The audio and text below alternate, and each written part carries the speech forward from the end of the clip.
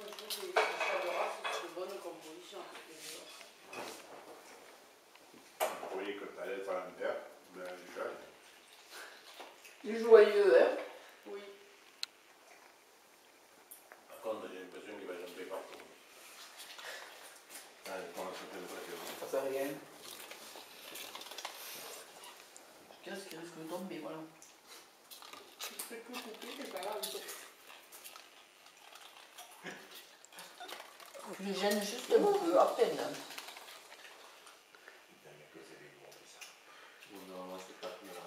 Putain. Il est allé derrière la Il télé. il va être gros, parce qu'il a des grosses pattes. Il est allé sous la commode aussi. Oh putain, ça y est, c'est quoi ici? Bon, tout à l'heure, j'allais chercher un balai pour le faire sortir.